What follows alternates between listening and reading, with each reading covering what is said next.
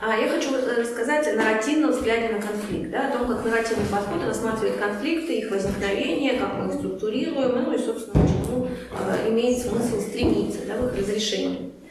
А, э, это такая теория не инструментальная, а мировоззренческая. Мне кажется, что в самом подходе уже есть облегчающие моменты, да, которые облегчают наши отношения к конфликту. Ну, по крайней мере, это так было для меня.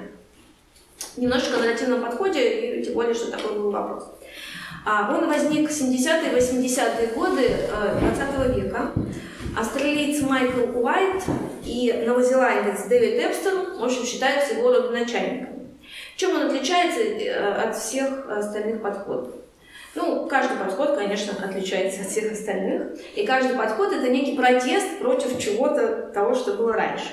Поскольку Майкл Уайт был не психотерапевтом в том понимании этого слова таком буржуазном, да, который сидит в кресле, и к нему приходят богатые клиенты, а вообще-то он был социальным работником и работал с маргинальными группами населения, а он заметил, что те подходы, например, системная семейная терапия и другие, они э, не очень хорошо подходят к той аудитории, с которой он общается. Да? Ну, то есть, допустим, там, представление о функциональной семье. Мама, папа, дети, у них достаток, и все в порядке, там полная семья и так далее. Когда приходишь в семью, а, которая папа сидит в тюрьме, мама вынуждена там обслуживает большое количество детей, старший брат торгует наркотиками, младшая дочь, там, не, не младшая, средняя дочь 14 лет вступила на путь, который не очень подходит, да, согласуется с представлениями о том, как должно быть, то говорить о дисфункциональной семье, ну, как-то не очень. То есть мы сразу помещаем этих людей в какую-то ячейку,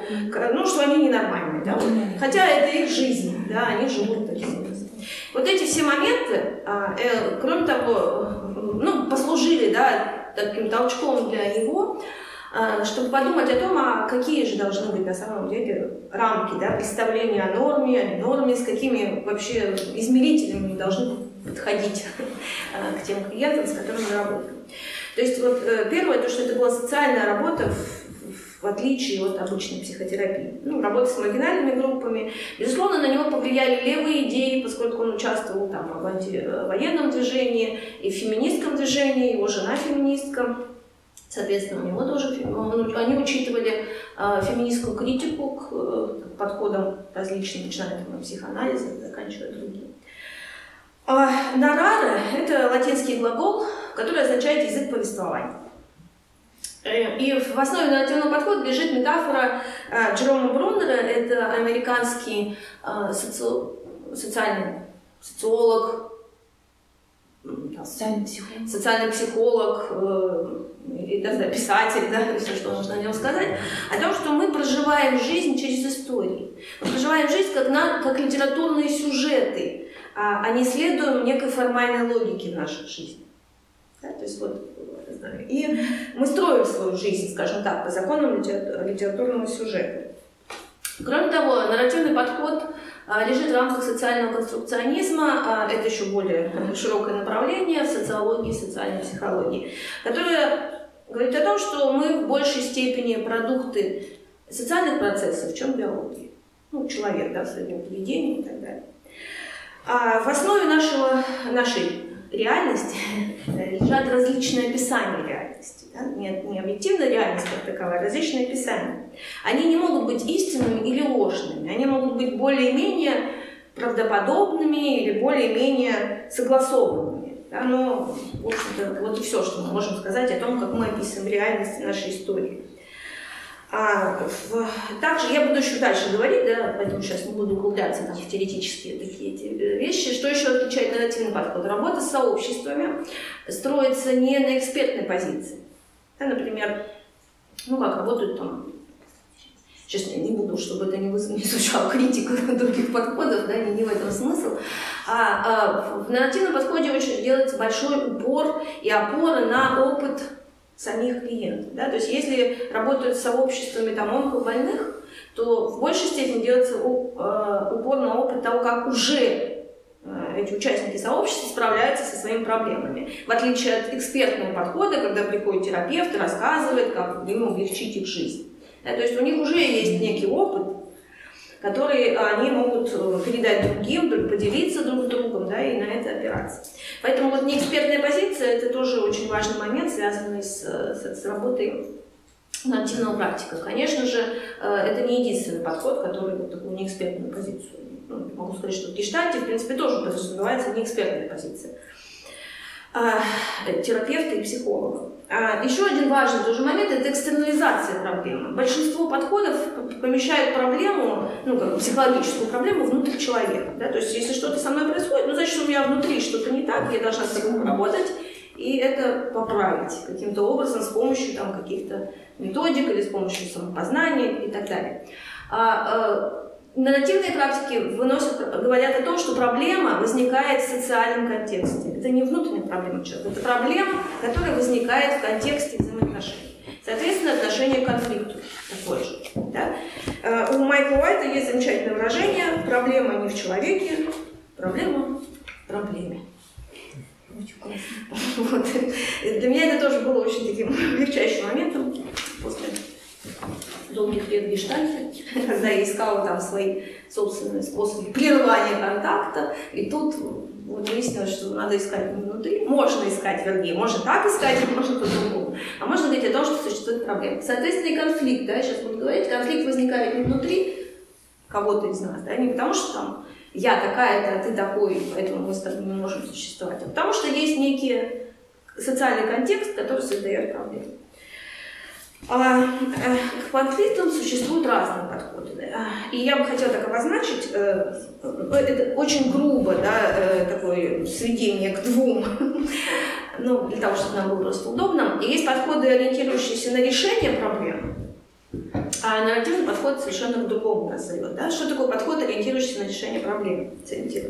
Ну, это большая, подходов, большая часть подходов индивидуалистической психологии, индивидуалистической когда э, человек рассматривается, ну, индивид рассматривается как первичный, да, а э, сообщество, оно вторично по отношению к индивиду, и, по сути, цель сообщества – удовлетворять потребности индивида.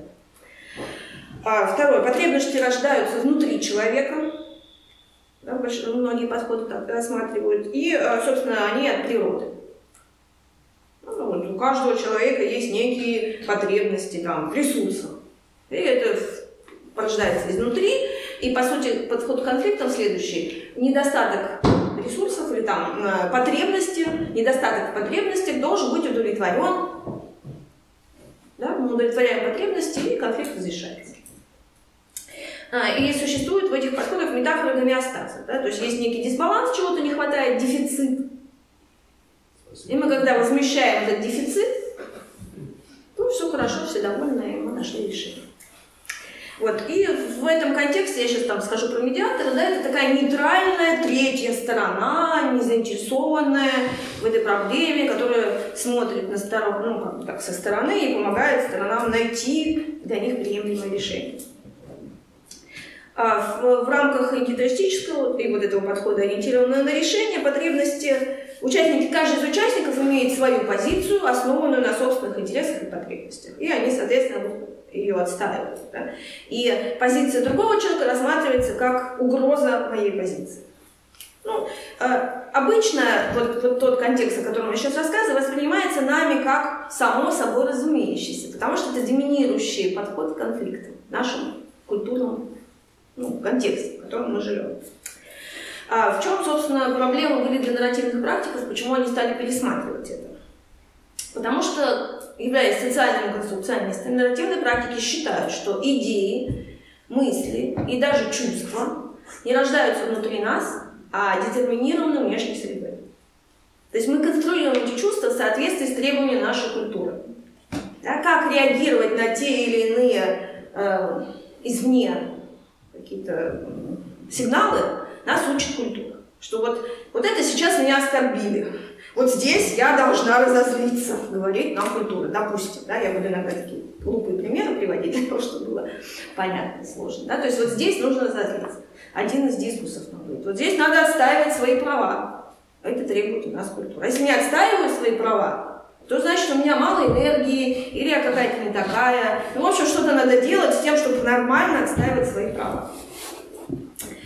А нарративные практики говорят, что вот это все идет извне, да, то, то, как нас культура учит. Мы сами конструируем свои реакции, вот, но не, безусловно, мы их ощущаем как внутренние, но рождается они внешний контекст. А, э, так называемые, ну, наверное, вы, безусловно, слышали различные там подходы к конфликтам, есть такие win-win solutions, да, то есть есть win-lose, то есть проигравший победитель. Ну, сейчас идет очень популярная концепция о том, что все выходят победителями из конфликта. А, ну вот, например, феминистки считают, что вот эти win-win solutions, они только сказать, просто отражают уже существующие отношения власти в обществе. И обычно, если в конфликте участвуют, например, мужчины и женщины, то а, они получают да, даже если они считают, что каждый из них победил, они получают то, что им причитается с учетом раз...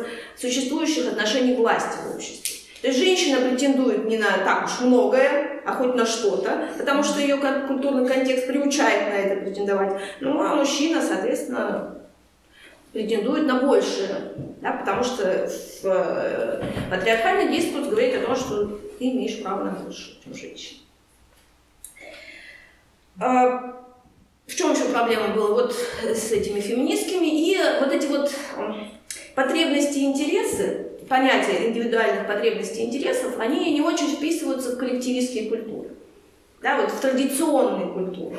Это западный подход, но он не, не может распространяться, например, на весь мир, потому что есть народы, которые, скажем, рассматривают, ну, можно так назвать, не знаю, китайское общество, да, где э, люди, индивиды рассматривают себя не как главных членов этого общества, интересы которых надо защищать, они больше рассматривают себя в, в контексте некого коллектива да, или сообщества, сообщества. И для них важно сначала интересы сообщества, а потом наши, ну, их собственные. А как ты считаешь, Россия-то все-таки к какому относится? Ух, дело в том, что есть исследования высшей школы экономики, если вот так опираться, да, то есть мои ощущения там могут быть одни, а у нас все же, несмотря на то, что сейчас нам вещают из всех утюгов, что мы коллективистская культура, да, и должны к этому стремиться, и у нас есть скрипы и традиционные ценности, опросы говорят о том, что мы очень индивидуалистическая. Ну, это как бы так и всегда было, или это... Нет, это, это формирование... Э, послед... Я думаю, что э, это контекст последних 25 лет. Это не хорошо и не плохо, я сейчас не даю оценку этому. То есть вот, вот это развитие в западном направлении, скажем так, европейском или там, американском, я не знаю, как, как это можно озвучить, вот, мы все же больше индивидуалисты. Хотя э, есть сейчас попытки общества изменить это. Не, ну я не, не в смысле, понятно, что кто-то в политических э, целях это использует. Ну, это может и а, сыграть. Ну да, нет, ну, понятно. Ну, это то, то, на что вот я опираюсь, э, есть исследования больше 10 лет. Ну, а вот это, помнишь э, тест про ручку который да. Да, где, да, есть интересный э, момент такой. Э, исследование проводилось в Китае. А может просто спросить сейчас? Я просто... Ну ты хочешь про... про... Ну я думаю, это вообще не относится к теме. Может, мы это опустим? Этот вопрос. Просто я... Хочется, да, про, про конфликты, про а, ну, в общем, это я то, что сказала. Каждый из нас вообще-то может существовать еще в других сообществах и ощущать совершенно другие э, ну, э, границы вот этого коллектив, коллективного сознания, да, или коллективистского, или индивидуального. То, что это проводился один вопрос, мы думаем, там есть определенное количество людей с определенным уровнем образования были опрошены, да, то есть все это нужно учитывать. Но есть другие люди, которые могут сказать, а я ощущаю, ощущаю что Россия это традиционная коллективистская культура. И, в общем, нарративные практики, что я хочу сказать, не считают то или иное утверждение верным или неверным, даже если это результаты исследований. Это один взгляд на вещи, да, есть другой. То есть просто какие-то из них там ну, для кого-то важны и интересны. Мы можем любое, любая научной или психологической теории возникает в определенном социальном, культурном контексте в определенное время и служит каким-то определенным интересам, включая политические. Психоанализ возник в определенное время, в определенном месте, для совершенно определенных общественных задач. Это не значит, что кто-то сидел и специально изобретал, да? это не теория конспирологии, а просто сложились в Австрии в конце XIX века, в буржуазной среде богатых, да, ну, более-менее, людей сложилось вот такое представление о том, как функционирует наша психика. Слава богу, что так сложилось, потому что от этого можно было отталкиваться. Если бы оно никак не сложилось, я не знаю, как бы мы сейчас с вами тут это обсуждали. Социальный конструкционизм сам по себе и нарративный подход тоже продукты определенной культуры, определенной эпохи. Да, я к тому, что, ну, чтобы воспринимать, как воспринимают нарративные практики. Все является продуктом чего-либо. А факты служат какой-то идее. Когда нам говорят о том, что есть неопровержимые доказательства, это есть факты, которые могут служить для кого-то доказательством, а для кого-то совершенно и нет. А, я сказала, да, что индивидуалистический подход считает, что конфликт возникает внутри человека, а, и, в общем, да, вот эти позиции. Я тут нарисовала, в общем, нарративный взгляд на конфликт.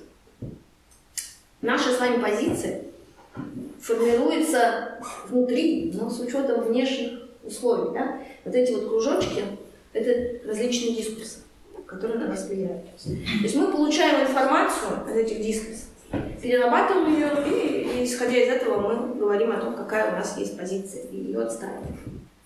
Мы, конечно же, ощущаем, что это то, что нам положено, то, мы имеем на это право, да, говорить об этой позиции. Но формируется она вот здесь. Ну, в смысле, она формируется здесь, но с помощью вот этих... Есть такая метафора у нарративных медиаторов, дискурсы радиостанции. Они на нас вещают. Более того, это может быть власть, гендер, да, что там политическая какая-то среда, наша консервативная политическая среда или либеральная, ну, в общем, все что угодно. Соответственно, феминистский дискурс да, влияет. А, про, проблема. А особенность в том, что даже эти дискурсы могут быть совершенно противоречить друг другу. И та позиция, которая у нас здесь сформирована, и кажется нам как такой э, логичной, да, понятной, ну, само собой разумеющейся, она может совершенно не обладать этими качествами логики. Да? Это наша история, как мы рассказываем историю про то, на что мы считаем себя вправе. Любое событие неразрывно связано с его интерпретацией. Поэтому для того, чтобы понять эту позицию до конца, вообще-то хорошо бы исследовать не потребности, которые вот здесь возникли, а те дискурсы, которые влияют на человека. Потому что э, большая часть подходов исследует потребности. А что ты хочешь здесь?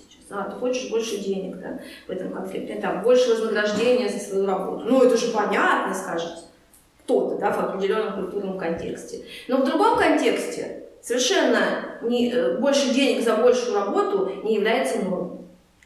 Я позже там приведу примеры, потому что как раз вот в активистской среде это ровно наоборот бывает. А, то есть в контексте бизнеса, да, я больше поработал, мне надо больше заплатить. Но не всегда в активистской среде действует тот же самый принцип. И это очень хороший пример, чтобы увидеть, что не все понятия, само собой разумеющиеся, являются таковыми. Да, это все влияние какого-то определенного контекста. Как я вам, вам понятно, что я говорю? Потому что я могу. Вот задавайте вопрос. Не, не в смысле, что я слишком умно говорю, чтобы я не была слишком говорю. Значит, э, нарративные практики считают, что в конфликте встречаются две истории, да, два нарратива, два нарративного описания событий, а отнюдь не наши потребности. Не, не потому, что они хотят вырвать от нас эти потребности и отобрать, а потому что гораздо более полезно разбирать, как эти истории возникли, да, чем переносить конфликт внутрь. Важная, а, важная часть а, связана с речью. Нарративные практики опираются на идеи философа Wittgensteina о речи, который считал, что сам наш способ мышления понятия и категории, которые мы используем, предоставляются нам языком, которым мы говорим. Да? Мы родились уже в этот язык, он возник, эти категории возникли задолго до нашего появления, ну уж по крайней мере точно до появления каждого из нас, да, который мы это воспринимаем и это используем. Да? То есть мы родились уже в какой-то языковой среде и пользуемся этим понятийным аппаратом. Получается, что меняя язык, мы можем поменять среду. Конечно, это мы поменяем даже наше мышление. Если вот в споре о феминитивах мы... Да, да. А, а попадая в другую языковую среду, мы меняем наше мышление. Да, точно. Это связано с изучением языков. Или да? Ну и та же гипотеза Сипирогорфа, который заметил, в общем, замечено было, что там, а, в общем, склад, точнее два склада. Один склад с пустыми бочками из-под бензина, второй склад с полными бочками из-под бензина. Полные бочки из... Возле склада с полными бочками из-под бензина рабочие курить э, боялись. Они там не останавливались никогда с этой целью. Потому что, ну, понятно, полные бочки с бензином может взорваться, может произойти все что угодно. Возле склада с пустыми бочками из-под бензина Э, спокойно народ курил, что приводило к достаточно неприятным эксцессам, пожарам, взрывам и всему прочему. На их мышление влияло слово «пустой», а не слово «бочки из-под бензина. Он там все-таки был, да? Да, он был. То есть им не приходило в голову, что пары бензин там могли остаться, что остатки какие-то там могли и что это может точно так же привести к пожару. Им это в голову не приходило. Спасибо за ваши примеры, потому что, собственно, что это, что я хотела сказать. Наш язык, по мнению нарративных практиков, не является посредником. Он конструктор. Да, тот конструктор, с помощью которого мы конструируем нашу реальность, с помощью которого, э, э, которого мы конструируем наши истории, и с помощью языка мы конструируем наши конфликты. Да? И очень важно смотреть на то, каким языком мы пользуемся, какую лексику мы используем.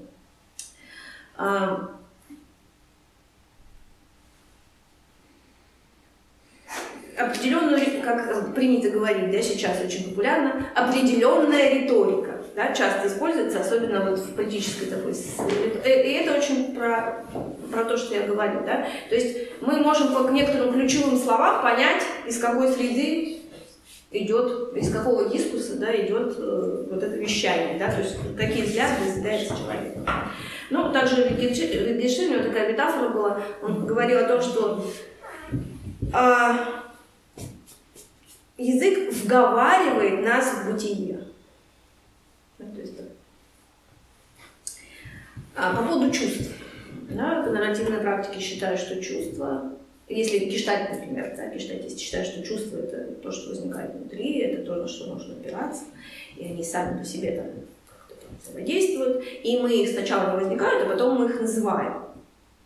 То в нарративной практике, нет, я не знаю, все ли разделяют такую точку зрения, вот я читала то, что это так, что они говорят о том, что чувств нет, пока мы их не назвали. Для меня, честно говоря, я думала, говорить вам об этом или нет. Но для меня лично это большой вопрос. Я на той точке зрения или на другой, потому что я пришла из Гештальта, для меня чувства были, это вообще, ну, собственно, база, все, все, что можно опираться.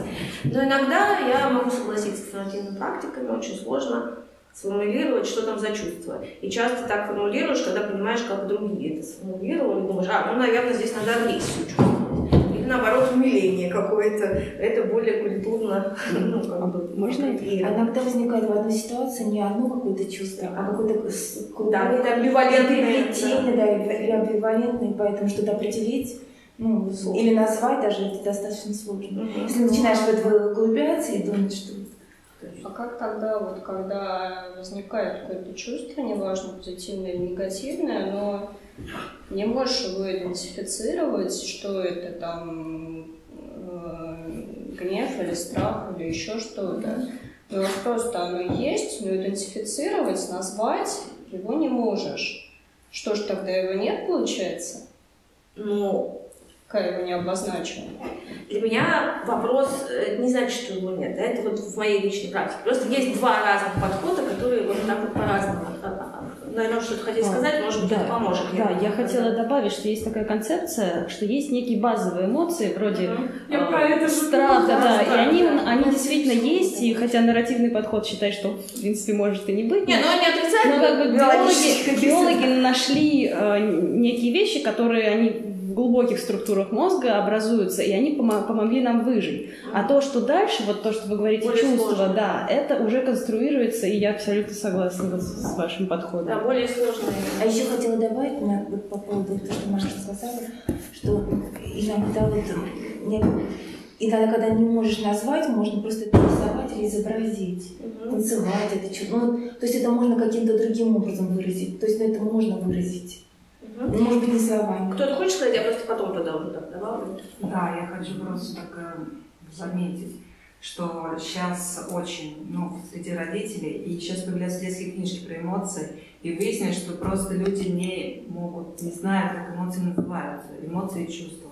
Поэтому сейчас есть целый цикл книг, по-моему, даже что-то начинало, начинает появляться на русском, да, детская книжка про эмоции. Там какая-то история, и описывает, что это за эмоция. То есть тут даже есть действительно эта проблема. Я понимаю, о чем примерно, что имеет в виду нарративный подход, потому что обозначая чувство, понимаешь, из чего оно и как с ним бороться. Если одно чувство, как само чувство, как вот что-то вот мне такое плохо, не, нельзя с ним потом, видимо, ничего сделать. Его можно либо пережить, а может само уйти. А что это было?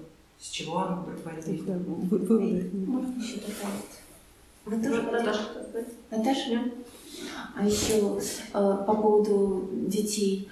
Просто были исследования, что э, вообще дети и подростки, и уже, если я хорошо помню, до 21 года не могут идентифицировать, или в 17 или 21, я плохо помню, не могут идентифицировать чувства других людей. Ну, это, это, это, это связано с развитием э, мозга, то есть мозговые функции еще как бы не, не, не доросли. свои не могут идентифицировать. Ну, свои, да. Ну, смотрите, сколько подходов и здесь разных концепций да, на эту тему. Мы, мне кажется, наша сила в том, чтобы знать, и думать, в какой ситуации да, конкретно. Вот для меня, я после многих, долгих лет гештальта, в том числе собственной терапии, для меня критически важно осознать, ну, для моего контроля за своими чувствами, если это можно назвать, критически важно его осознать, это чувство.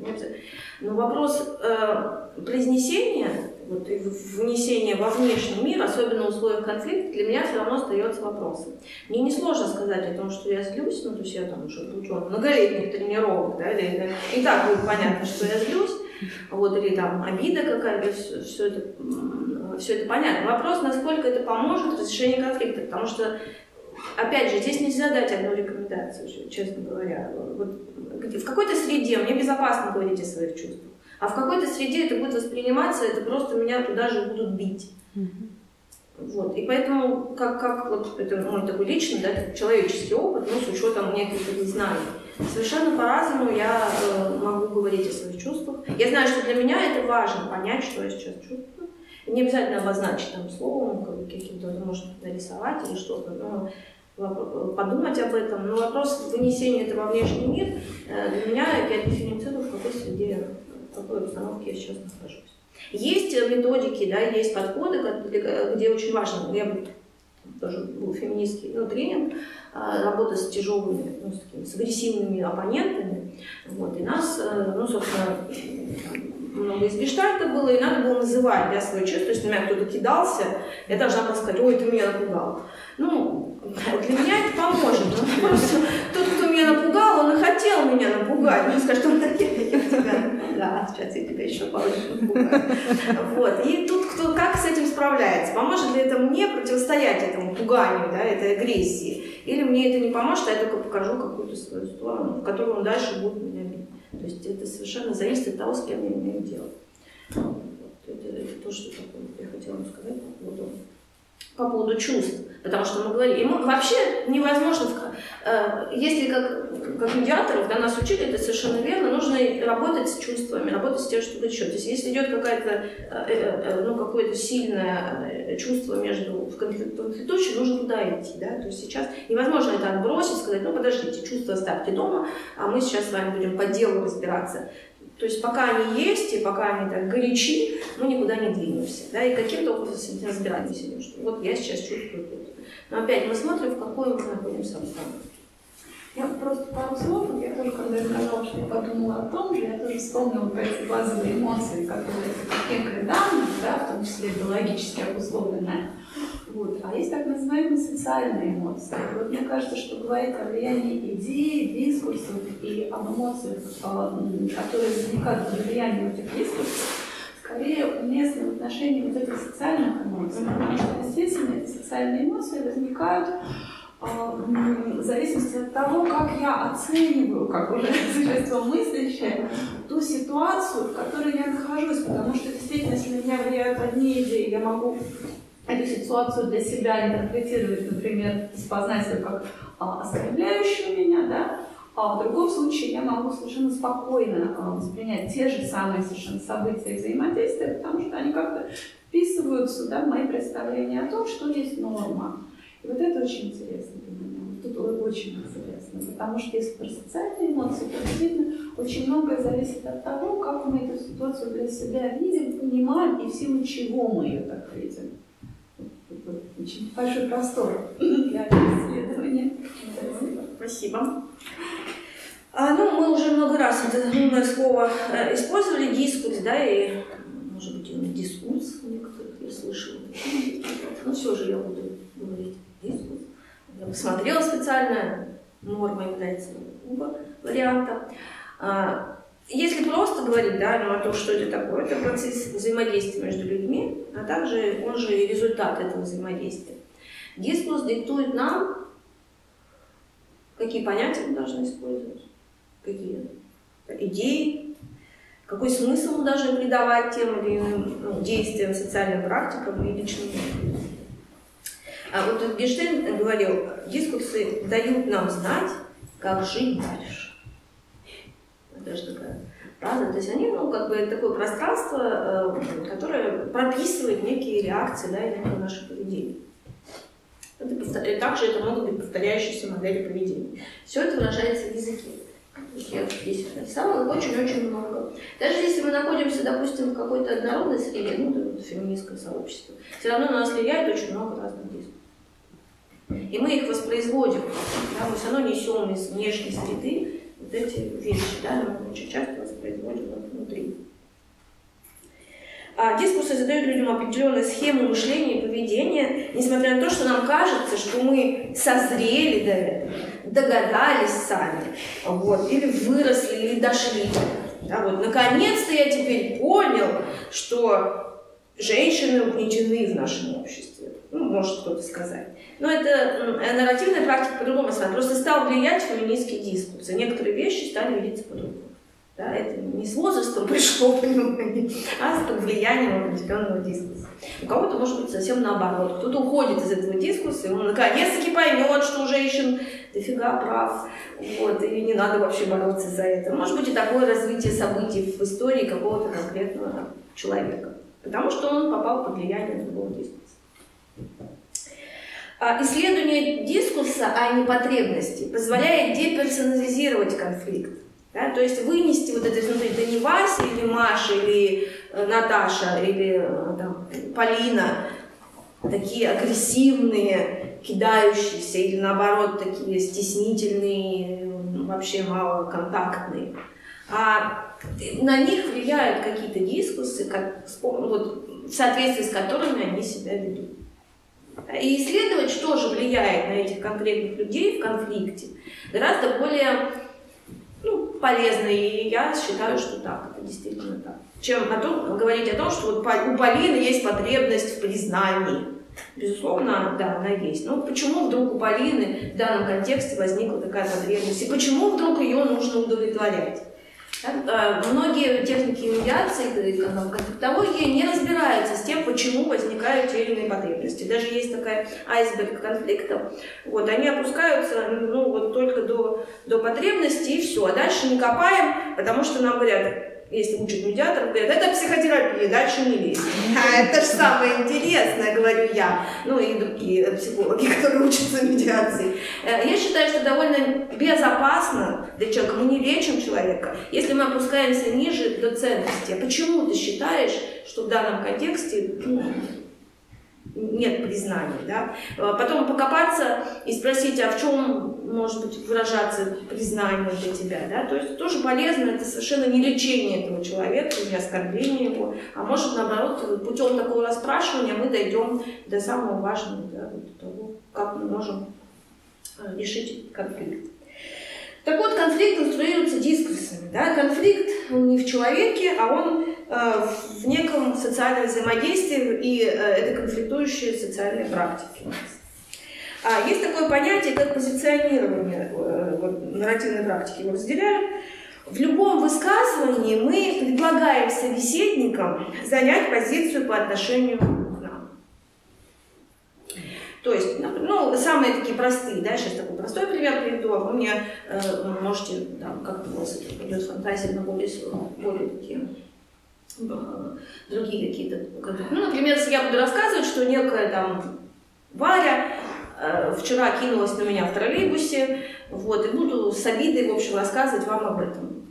То как вы думаете, на какую позицию я ставлю вас в этом нашем разговоре?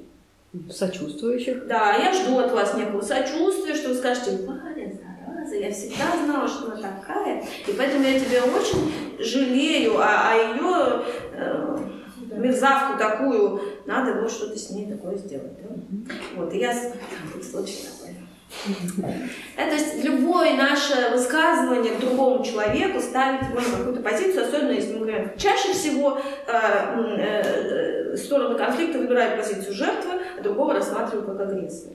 А всех остальных рассматривают как некое сочувствующих, которые спасатели. Да? Я сейчас не буду использовать треугольник Карпана, о котором вы, безусловно, все знаете, там своя динамика есть, но она не относится к нарративному подходу.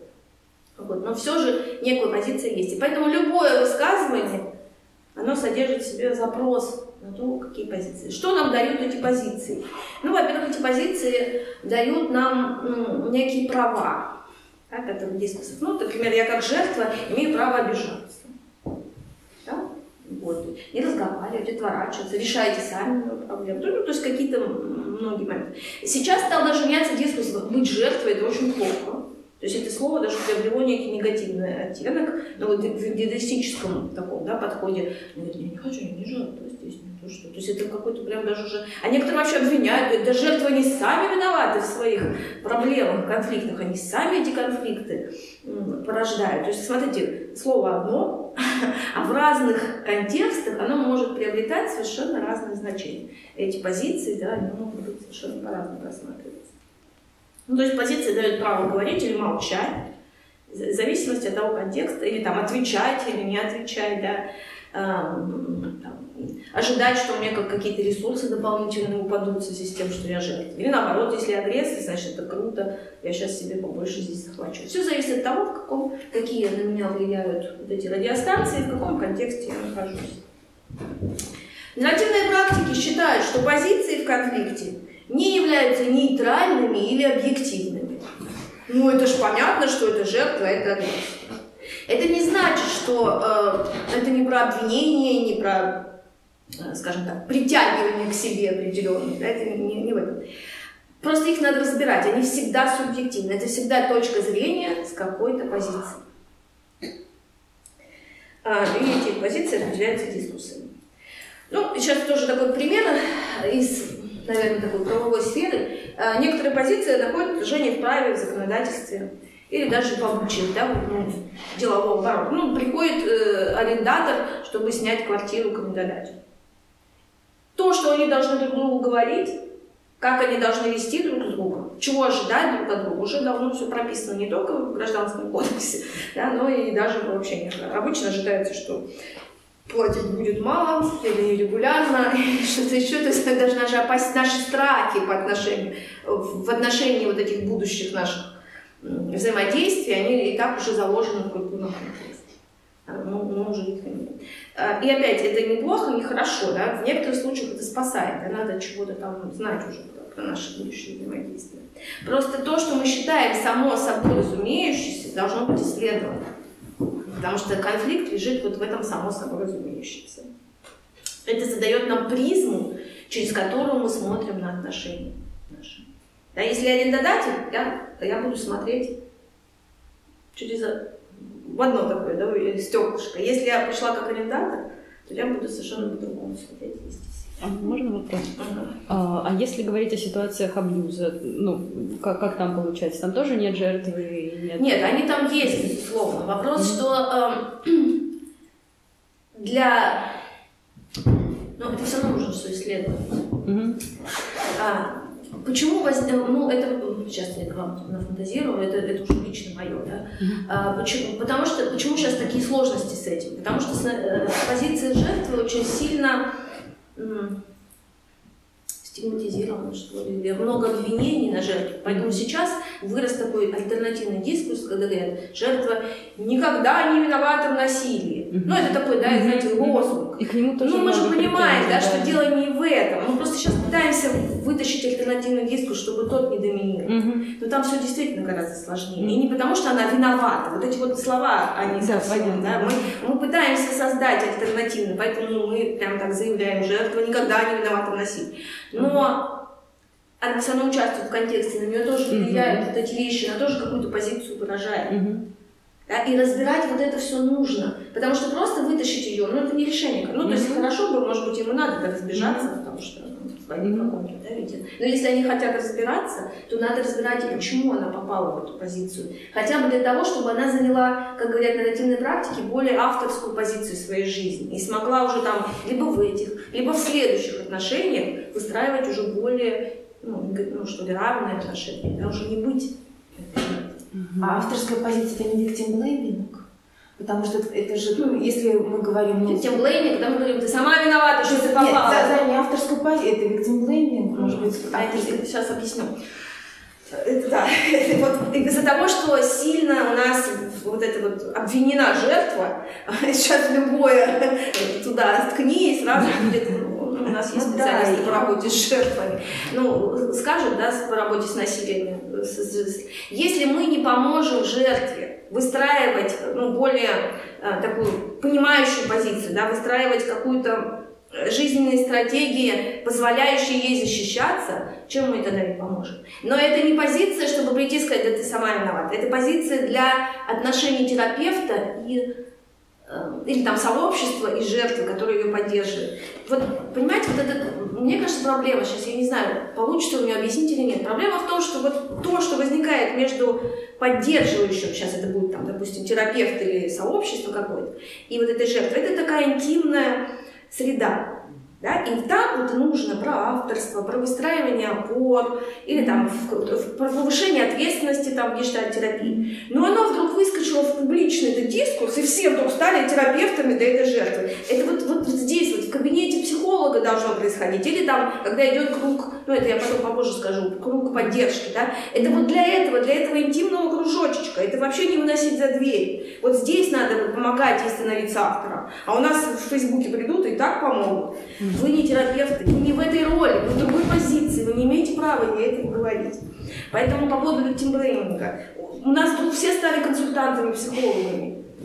И совершенно не понимая, что вот это вот терапевтические отношения, этот альянс, не должен быть вынесен за дверь. Вот здесь он полезен, а в другом контексте он не только не полезен, а даже вреден, потому что он обвиняет. Ну мы же не можем вам запретить, они же. Ну, конечно, не можем. Мы можем только кричать, ребята, а, Сидите а, тихо. Что-то я наговорю на видео, да? Свои знания психологические. Подождите. Пишите у себя на стене, да, что хотите. Не надо приходить к, к людям, которые говорят, что я в ситуации абьюза, и рассказывать, а, как я себя вести. Да. Вот, вот это. Угу. Потому что вот этот дискурс популярной психологии, все же знают, как надо себя вести. Я в ужасе, потому что то, что ну, все, каждый, второй, третий, да, то, то, что возникает в, в очень интимном пространстве и помогает э, вот, клиентке, жертве в этом интимном пространстве, совершенно вредит ей в публичном пространстве.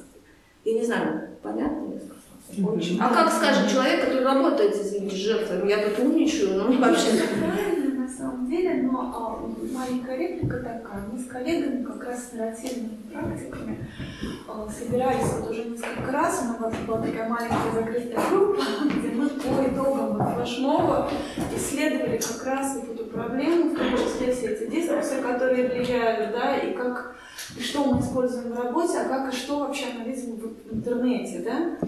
И в чем проблема-то, да, что в терапевтическом взаимодействии есть своя динамика, да, и изначально это а, контакт, изначально это абсолютное принятие, безоценочность, поддержка, да, и если потом и шаг за шагом, да, происходит э, то, что помогает принять на себя ответственность, то это вот Перестать рассматривать только динамически, да? Никто вообще в здравом уме не будет человеку, пришедшему вот из такой ситуации, про ответственность спаривать, извините, да?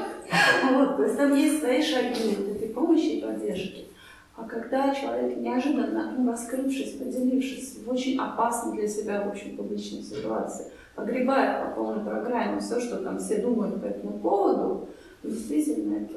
Ну, в Ложемове не было, было много поддержки. Было много, Ну, много всего было. Много всего. Было Конечно, много бесконечное пространство невозможно закрыть. Это Да. тоже надо понимать.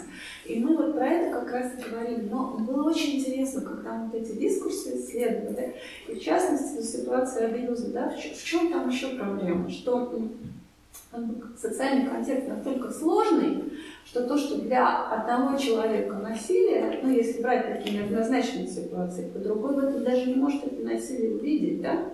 Вот, и вот здесь очень много поля для работы, паханного поля для работы. Да, который считает, что это норма, так и надо говорить. Это и есть поддержка человека. Бахнуть его по башке так, что... Ну, я просто сейчас не хочу увлекаться, Ну, чтобы да, не отнимать время у основного про, то, то, что мы говорим про вот, ответственность, авторскую позицию, про виктимирование.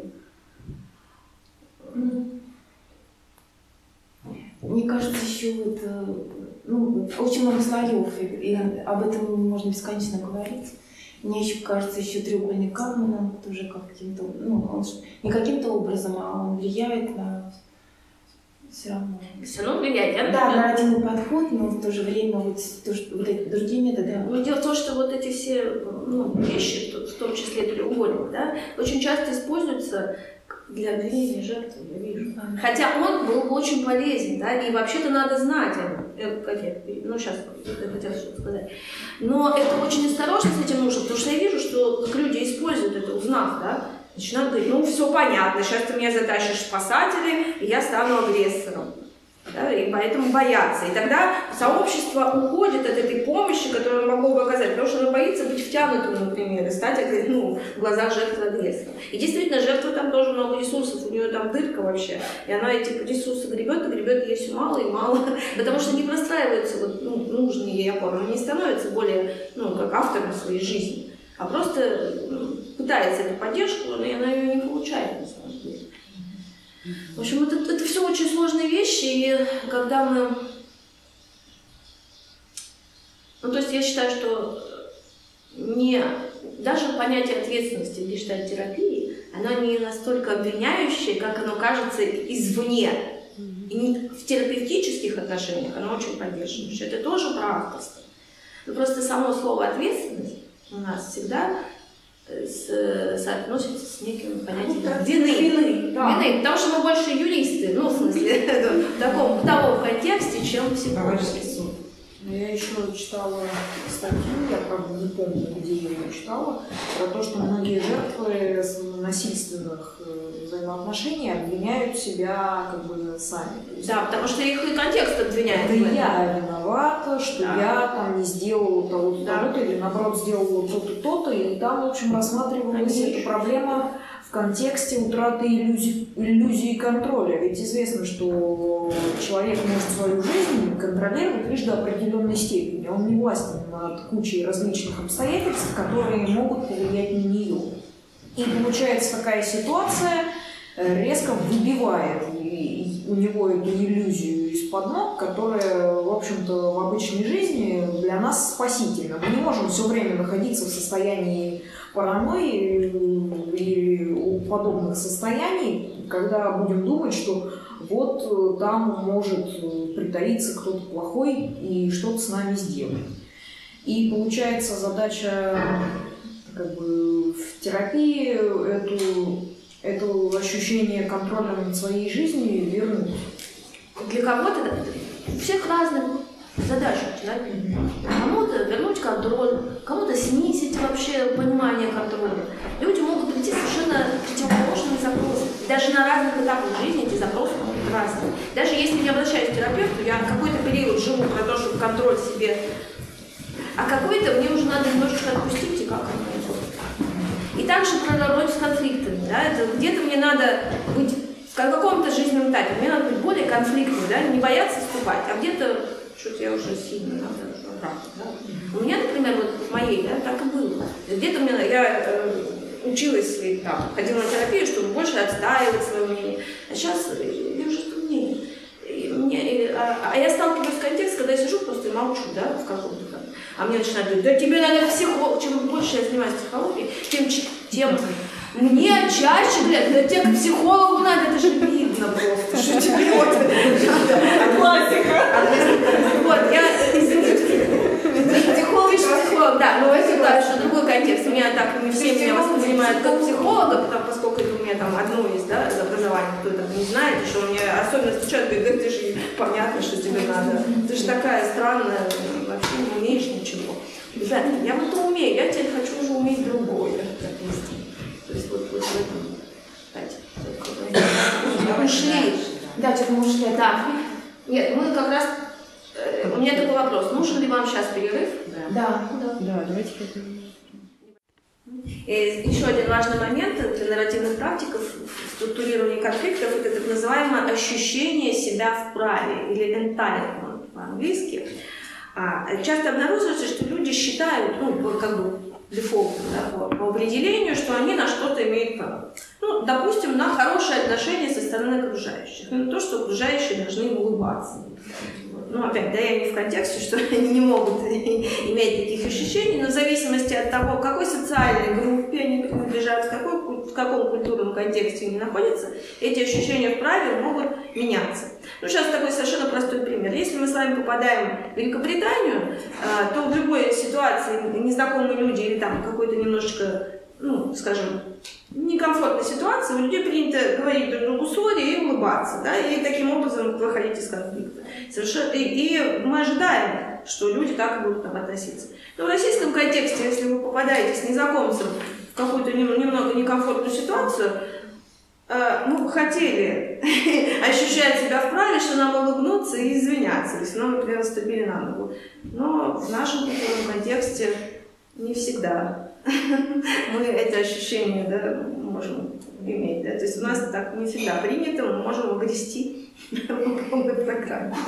Вот. Хотя мы можем ожидать, что с нами хорошо обойдутся. Есть еще ощущение себя праве. Например, в, культур, в контексте бизнеса э, и отношений денежных. Чем больше я поработал, тем больше мне должны заплатить. Ну, например, в активистской среде это может выражаться либо в том, чем больше я вношу в этот проект своих сил, тем больше я имею право выступать от имени этого проекта. Да? То есть я лицо этого проекта, я могу, могу там командовать. Вот. Это тоже это такое, как зеркало да, таких вещей. Чем больше я туда вложил, тем больше это мое. И тем больше там власти а, ну а так бывает не всегда, например, если в, в, активистские отношения вносятся, э, я как раз вот на одной из конференций на медиаударе была по этому поводу, были там примеры, когда вносят, например, э, вот, вот этот контекст оплаты, он наоборот сбивает всех, потому что здесь люди не ожидают, что им заплатят, и их иногда обижает, что им платят за это. То есть они работают за другие совершенно ну, идеи и ценности. Да, и вот этот вот контекст оплаты, и что тебе больше заплатят, потому что ты больше работал, наоборот, их мотивацию совершенно снижает, они даже обижаются и уходят из проекта. То есть когда вот с другим контекстом приходят вот, совершенно другие отношения. Модели ощущения себя в праве э, возникают из отношений власти в обществе. Э, если брать патриархальный дискурс, то у мужчин э, он побуждает мужчин чувствовать себя в праве больше немножко, да, чрезмерного иногда ощущения себя в праве, а женщин он побуждает к тому, чтобы ну, уступать или не рассчитывать на слишком многое. Хотя, конечно же, в конкретных отношениях это может меняться. Да, я сейчас таким большим мозгом а, вот, что это просто нужно учитывать. Зависит от того, к какой группе социально принадлежит человек. А, ну, если мы имеем дело с многонациональным каким-то коллективом, да, то у, условно, у титульной нации да, у представителя титульной нации может возникнуть ощущение, что он лучше знает, у него больше вправе здесь говорить, потому что у него-то больше знаний на эту тему. Или там образован, если одни, если разный уровень образования в аудитории, то более образованный человек может посчитать, что он сейчас расскажет, потому что он же больше знает на эту тему, да, чем люди, у которых меньше образования, меньше уровня образования. То есть вот эти вот социально-экономические, расовые, образовательные, это все порождает конфликт. Да? То есть, в социальных группах э, по, как бы пожелания или дела одних людей приобретают большее значение, чем потребности, пожелания, идеи других людей. И это тоже как конкуренция ощущения себя в праве, э, это тоже источник конфликта. Да, если по-другому смотреть. А, что важно? Да, еще такое понятие, как полиисторичность. А, а, для нарративных практиках важна. Мы проживаем жизнь через истории, и тут важно, что истории в множественном числе. Это не одна какая-то история, и она даже в определенный период времени или по поводу определенного конфликта это очень много, может быть, разных историй. И нарративные практики не стремятся привести клиента или э, там, группу, да, с которой они работают, и, сами для себя это не объясняют, так что нужно прийти к какой-то одной выстроенной логичной истории, и это будет результатом, и, и это способствует разрешению конфликта. Нет, они приветствуют многослойность, противоречивость этих историй, вот, конфликтность этих историй, даже внутри одного человека. Там, ну, говорили, возникают разные чувства по какому-то поводу. Да? Это ну, принимается как данность какая-то, да, нарративная практика. Вот. Потому, э, почему это важно? Потому что в таком доминирующем дискурсе сейчас подчеркивается примат рационального над эмоциональным. Да, что все люди действуют, исходя из своих собственных интересов, э, ну, там являются некими такими калькуляторами, которые подсчитывают свои выгоды. Это часть доминирующего дискурса. Это не всегда так было, это сейчас, да, ну, в конкретном культурном контексте, да, с, с учетом экономических условий, в которых мы живем, считается нормально. Ну, нормально, что я хочу больше денег. Ну, в одном контексте это нормально, а в другом нет. Да? То есть смысл вообще работы с конфликтом для нарративных практик. Есть, как я говорила, что есть подходы, ориентированные на результат. Нужно найти способ удовлетворить для этих подходов. Они стремятся найти способ удовлетворить потребности всех участников конфликта. Ну, э, самый такой классический пример в конфликтологии, когда у людей, э, э, они конфликтуют по поводу открытого окна в помещении. Да? То есть одному жарко, другому все время другому все время холодно. Вот. У меня, кстати, такой конфликт был на работе. Не у меня лично, а я, я наблюдала такой конфликт, потому что одного высокое давление, у другого низкое. Они там чуть не вообще до драки доходило. Вот. И таких вот традиционных или доминирующих подходов будут искать способ, как же сделать, что можно сделать. Ну, один, например, может выходить, пока проветривается, да, кому там холодно. А, или их можно рассадить по разным помещениям. А, или открыть окно вообще в другой комнате, чтобы не было сквозняка. Ну, то есть будут искать способы. Для нарративных практиков не в этом является смысл. Смысл в том, чтобы взглянуть на свои отношения по-другому, чтобы выстроить совместную историю отношений такую, которая будет, я вот сейчас вот прям процитирую, потому что это очень важно, а, Нарративный подход концентрируется на развитии таких взаимоотношений, таких историй, которые несовместимы с конфликтом и строятся на историях понимания, уважения и сотрудничества. То есть акцент делается не на, не на поиске способа удовлетворить потребность, а на поиске новой совместной предпочитаемой истории, которая устраивает. И здесь гораздо больше возможностей. Возможно, они решат каким-то практическим, материальным способом решить. А может быть, как-то это будет все по-другому. Ну, какой пример, может быть? Угу. В том-то дело. Мы можем примеры привести только из, исходя из, из поиска способа, да, из рационального. Но это может быть совершенно по-другому построено в отношениях конкретных. И задача наша не думать о том, как можно это разрешить, какие способы предложить, а задача это посмотреть на себя по-другому, посмотреть, как какие-то истории влияют на меня, да, какие дискурсы влияют, почему я так думаю, почему думает другой человек. И тогда в этом больше Свободно. Можно я приведу пример? У меня такой конфликт дома с э, моим партнером, э, и в какой-то момент я стала думать, почему я боюсь открытого окна, потому что его боялись моя мама и моя бабушка. Я пересмотрела это и перестала бояться открытого окна. Это один из способов. А Большое спасибо. Это не значит, что в доминирующем дискурсе это можно сказать, что она пошла на компромисс. Но если мы по-другому будем подходить, это другая история. Это не компромисс, это внутренний. Да, для нее это не компромисс. Но, например, если какой-то конфликтовый пришел, сказал, а. ну, понятно. А, я уступила. Ну, да, но, опять, как это Это я просто вам говорю, что как можно по-разному рассматривать. Но большое спасибо, потому что действительно очень. Ну, мне бы очень хотелось какой-то пример другого подхода, потому что здесь, да, все я поняла, все звучит прекрасно. Я не понимаю, как в случае открытого окна, одному холодно, другому не холодно, как фантазийный Не знаю. пример, как это можно решить. Как на- вот. Не, ну там не было физического чувства. Как Там был страх. Я, я- а, и теплее одеваться я стала еще. А, То есть я купила пижаму теплую. Ну, то есть сам то, что это понимание того, что открытое окно полезнее, чем А, закрытое. Если вдруг я замерзну в какой-то момент, от этого ничего не произойдет. А я думала, что произойдет, что я заболею, продует. А оказалось, что не продует, ничего не будет. В том-то и дело, что не надо нам задумываться о том, как разрешить, а больше сконцентрироваться на отношениях, на истории дальнейших отношений. И там могут быть совершенно разные. Это перестанет быть потребностью, или у другой стороны перестанет быть потребностью. Или мы вообще как-то по-другому все это решим. А, Когда мы думаем, исходя из результата, мы разрабатываем способы разрешения конфликта. В активном подходе мы их не разрабатываем. Мы концентрируемся на других вещах. Есть такая тоже метафора у молодых медиаторов, что конфликт – это чемодан, в котором накидано очень много смыслов. Да? Я пыталась их ну, как-то изобразить. И работа с конфликтом – это не поиск способов разрешения, а распаковка чемодана. Мы будем вытаскивать их по одному и разбирать. А вот это что для тебя? А что для тебя? А, м- например, в этом контексте мог быть другой вариант. Например, партнер мог сказать, ну если для тебя так важно, да, ну окей, я буду выходить там, условно, курить, да, и там я буду дышать свежим воздухом. Да, то есть опять, когда мы работаем с тем, а насколько для тебя это важно, почему для тебя это важно, может, может быть множество других историй будущих, да, и совершенно способов. То есть отношения против результата. А Почему это важно?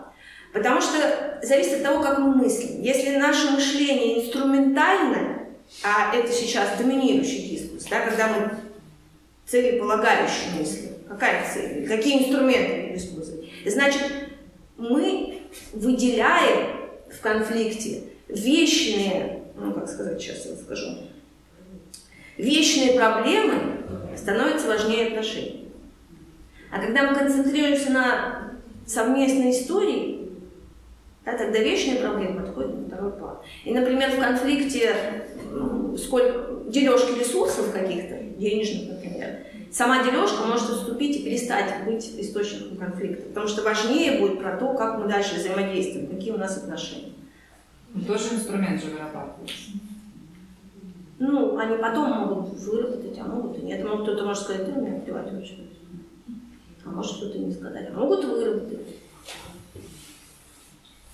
А, да, я соглашусь с тем, что это сложно. Нет, ну, если есть, например, хорошо, есть рабочий конфликт двух человек, а конфликт мешает деятельности.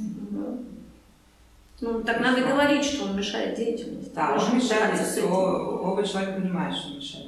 Ну, надо, надо разбирать, что там есть, да, мы там будем разбирать, там все равно, но мы все равно будем приходить к каким-то инструментальным Ну, компромиссам, что просто какие-то области деятельности не пересекаются, или как-то вот, вот это вот. А, сложно, потому что, ну, как, да, как медиатор или там в других конфликтах, или как там в своей э, личной терапии, иногда бывает какой-то момент поворотный, после которого что-то перестает быть для меня важным, что раньше было очень важно. И это невозможно привести как пример. Ну, да, то есть невозможно сказать, ну, вот это один из способов. Просто что-то отходит на второй план, появляются другие ценности. Я вижу уже другие ценности, и тогда для меня важно вот, вот с этими ценностями, да, и там какую-то историю, историю выстраивать на основе этих ценностей. А то, что я хотела изначально, то, что я рисовала, моя позиция, она вообще поменяется. Да, но нужно же, если речь о конкретной работе, которую нужно сделать, если есть конфликт, который мешает, ну что, будем сидеть ждать, пока у кого-то, возможно, какая-то поворотная точка, в которой поменяется мировоззрение, что случится. Да. Это вам- как мы относимся э, к, к этому конфликту? Э, э, Хотим ли мы, как вот, помните, я говорила про контроль ситуации контроль других людей? Это вот немножко про контроль других людей. Ребят, давайте быстрее решайте, Моя потому что из-за вас от их конфликта. Что мне делать? что-то придумаем, что к делать. психологу. Нет, что-то себе, какая бы стратегия подошла для тебя? Нет, я не спрашиваю сейчас, я имею в виду, задать такой вопрос, что тебе делать с этим, а не что с ними делать? Ну, то есть я должна так приспособиться, чтобы моя работа не зависела от конфликта. Ну, где-то да, а в каком-то ситуации это невозможно. А в каком-то все застопорится и на какое-то время, и будут решать днями, неделями. Понятно. Ну, проговаривать нужно. Ну, то есть нужно говорить о том, что Ну, можно, ситуация да. некомфортная. Безусловно. и- Да, и, и это важно, сказать, стопорится, вот я чувствую плохо. от Ну, этого. это же инструмент. Ну, Это же инструмент, это выражение своей ну, имеющий цель. Чтобы они поняли. Ну, я не, ну, как бы сказать, я не хочу, чтобы вы думали, как я, да. Ну, понятно. Если для вас это инструмент, и он будет полезен, да, ну, да, пусть будет это инструмент. Вот. Просто как раз мне ближе вот не инструментальная позиция, вообще не инструментальное образ мышления. Хотя он часто сталкивается с, особенно когда в бизнес-среде, мне вообще говорят, думать ты не умеешь, надо... А делай, Да, да. алгоритм. Совсем не конкретно понять, конечно, очень сложно. Да, ну, Наверное, какой-то, может быть, какие-то там непривычные, ну, то есть, на- может, я более терпима к неопределенности, не знаю. Тут, э, ну, в силу там, Мгм. да, моих, да, где, где там дискурсов, в которых я вращаюсь, да, что они мне, ну, ну, нормально, застряли. Главное, как мы потом выйдем из этого. Где-то, может быть, и нет. Конечно, это не мешает предлагать варианты. Никто не говорит, что нельзя предлагать. Не, ну понятно, что нужно У кого-то да. больше развито это мышление, кому-то это привычнее, и он говорит, давайте так сделаем, давайте так. Ну, отлично, если это помогает. А, По поводу деконструкции, да, я уже сказала, что нарративный подход ищет не способы, а узкие культурные и социальные предписания, которые ограничивают людей, участников конфликта, и мешают видеть доступные возможности. А, и возникшая проблема это не личная состоятельность, не состоятельность да, человека, а нечто сконструированное в взаимоотношениях и, собственно, в развитии да, этих отношений можно будет найти какую-то точку, да, от которой мы решим, что с конфликтом. А, Интересный момент. Когда мы с Кирой обсуждали анонс, а, возник такой вопрос, ну там в переписке этого не очень решишь, но мне казалось, это, это важный момент. Какая метафора? Что с конфликтами-то делать? Их надо избегать, преодолевать, да, решать, разрешать. Какое слово мы используем, тоже, тоже очень важно. Мы сейчас, не, у нас, к сожалению, там уже не будет времени подумать на том, какие мы используем метафоры, да, каким глаголом мы с этим конфликтом. Очень интересно. Ну, вообще, да. Это связано как раз с этим вопросом. Да, это связано с нашим мышлением, что мы разрешаем конфликты. Это там какой-то третейский судья, да, или там Работаем с конфликтом. работаем с конфликтами. Ну, а тебе как выглядишь слово? В, в сфере этой. Не знаю, я в нем участвую, ну, если я участник конфликта. Поэтому я и написала, в- я очень внимательно отношусь. Да, я проживаю. Чувствую да. конфликт. Спасибо за эту метафору. Да, я в нем проживаю, потому что это часть какой-то кусок жизни. И, и вот я- А можно вопрос? Где-то я избегаю каких-то конфликтов. Можно вопрос, или это нар- нарушит ход? Нет. Вот ощущение себя вправе, как с ним предлагается поступать? Ну, их исследовать нужно. Ну, особенно, я сейчас приведу пример из семейной, да, дележка, когда идет развод и раздел, с кем будут жить дети, да. Э, Ну, там классические примеры это нарративных практик, конечно, мужчины многие требуют что если жена особенно как-то с их точки зрения виновата в этом разводе, то она не потеряла моральное право воспитывать детей. И, конечно, у него ощущение себя вправе, что я же еще и финансово могу больше. Да? Вот исследовать, откуда это берется, как его ощущение вправе влияет на тех же детей. Да, как то, что он считает себя вправе, влияет на жизнь детей. И вот это все, по сути, это, ну, как бы для меня это получается такая немножко все же терапия этого конфликта. Да? Это более глубокое исследование, чем просто вот у него есть такой интерес или его позиция, да, и мы не обсуждаем ее. Хочешь тебе? Вот Давай решать вопрос, как удовлетворить твою потребность в том, чтобы дети жили стабильно. А как это исследовать вне терапевтических отношений? То есть, ну, допустим, есть какая-то группа, компания, и там человек, допустим, много высказывается, считает себя вправе. Это раздражает других. Ну, Вы- могут вывести его на, Да. собственно, разговор? Ну да, но так другие могут дать обратную связь, Мгм. сказать об этом. Я поэтому хотела сказать про сообщество, да, немножко сейчас буквально там минутку. Для меня, э, мы сейчас поговорили сегодня больше о том, как нам участвовать в конфликте. Я поэтому так и вынесла, да, потому что мы не из одной группы, например, здесь, и говорить о каких-то групповых процессах, наверное, ну, это нужно говорить с конкретной группой. Но вообще для меня сообщество имеет большое значение. Э, И некоторые конфликты, они не разрешаются один на один, а нужно вмешательство сообщества в это, да? То есть если конфликт в группе, ну, между двумя, это не дело двоих. Вот тоже индивидуалистический такой подход. Это, ну, это их проблема, и вы нам мешаете, и мы их как бы давайте там быстрее решайте. Вот, э, он возник почему-то, да, и сообщество, ну и в большем, в большом объеме общество, да, тоже немножко причастно к этому, почему этот конфликт возник. Или конкретное сообщество тоже к этому имеет отношение, потому что там созданы такие правила, какие-то взаимодействия, которые к этому конфликту привели. И поэтому, ну, вообще даже есть в системных подходах, например, в системном консультировании организаций, там есть такое, что если конфликт возник на каком-то уровне, то разрешен адекватно, но может быть только на более высоком уровне. Ну, если мы сейчас применим, Мгм. хотя аналитически там, Мгм. ну, многие из них там системные, но я исходя там из других да, подходов, что вот если конфликт между двумя в каком-то коллективе, то разрешать его надо не только между этими двумя, нужен кто-то третий, либо это сообщество, там, либо это как медиатор, ну, но лучше, если это сам коллектив. Потому что это будет тогда изменение самого сообщества, чтобы эти конфликты не возникали. И, естественно, говорить о том, что меш- мешает, не может дальше двигаться, потому что у вас есть конфликт. А, Есть много таких, ну, в смысле, немного, а такие хорошие вещи, как круги, да, там, круги примирения, или там круги поддержки, то есть когда участвует все сообщество в разрешении конфликта. Это такая традиционная техника, до, возникшая еще до всяких судов, да, то есть в традиционных культурах. Сейчас она применяется в восстановительном правосудии, ну и во всяких других таких вещах. Вот некоторые конфликты адекватно, ну как бы качественно с- можно разрешить только в таком контексте, мне кажется. Да, чтобы они уже не просто разрешились да, там конкретно, но они еще не возникали. Зависит от... А, я, кстати, э, тоже вот на, конференции на Медиударе а, там приводили в пример одно сообщество творческое, активистское. А, а, было сказано так. Тоже странно, у нас конфликтов-то не было. Нам, мы принимали любые различия. То есть мы сразу договорились, что все, что хотите, можете делать. Любые различия были приемлемы. У нас не было конфликтов. И это звучало как тревожно для них. То есть, ну не понял. Ну, то есть ч- человек, который это представлял, говорит, там было, мне говорит, вот тревожно, мы не развивались, что ли, у нас не было конфликтов.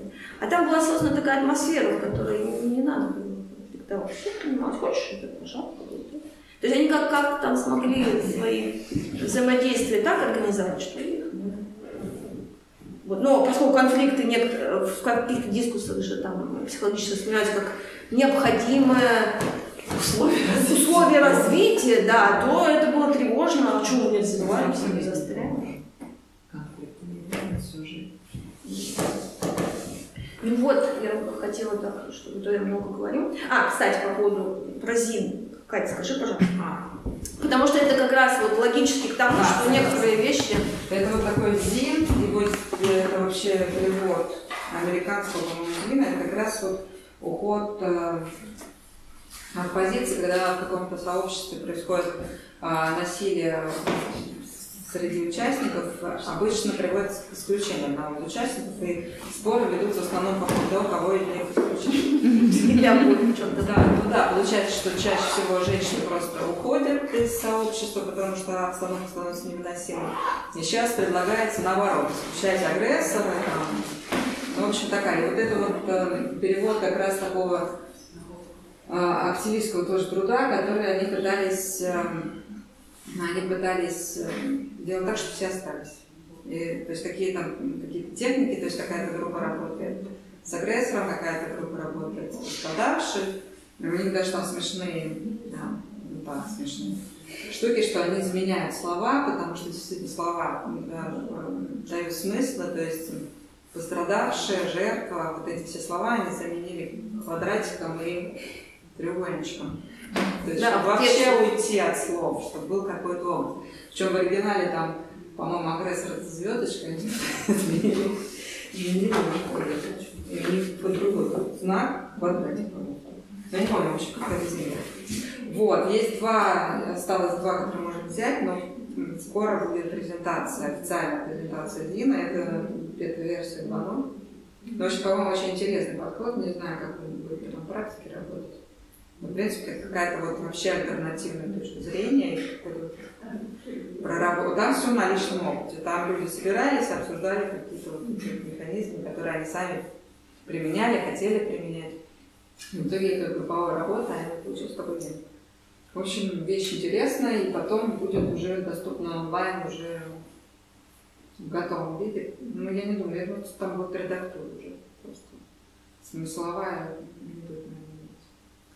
Вот, так что еще два осталось. Если кому-то прям нужно прям срочно, можно. Если можно, потому что мы вряд ли здесь появимся еще. А, хорошо. Я могу оставить свой mail, если надо, я вам пришлю, который сейчас есть PDF, но Вообще, наверное, а можно на сайте она... рублей большими буквами? А, а да, есть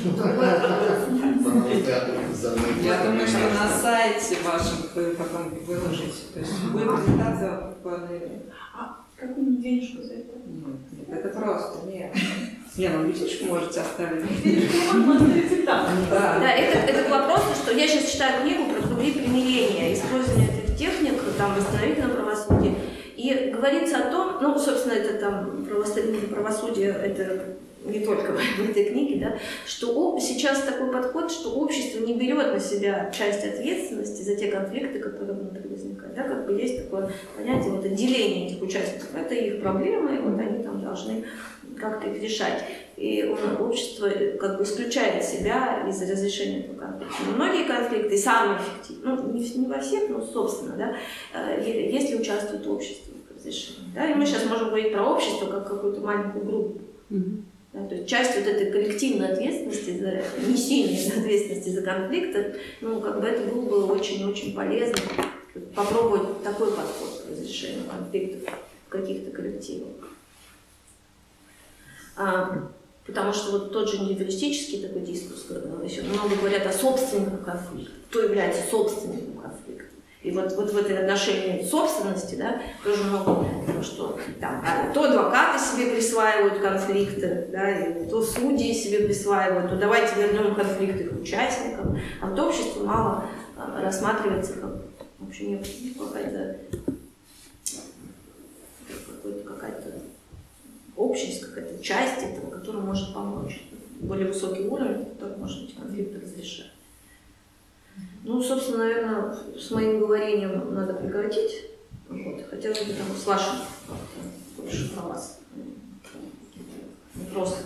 Ну, ну, потому что да, вопрос, наверное, как раз. Дело в том, что ты, ты, как раз говорила про то, что... Сейчас я сформулирую. Ну, в общем, э, нам, нам все время говорили, все два года последние, что, в общем-то, скажем так, люди, активистки, у которых есть расхождение в идеологических позициях, они друг с другом работать никогда не смогут. И когда просто шло время, а, а, и у нас как раз такие люди, и они могли работать всегда. И то есть конфликты бывали внутренние, но не было ни одного конфликта идеологического. Хотя люди объективно всегда были разных взглядов. Ну, приходили, уходили. Но не было ни одного случая именно идеологического конфликта.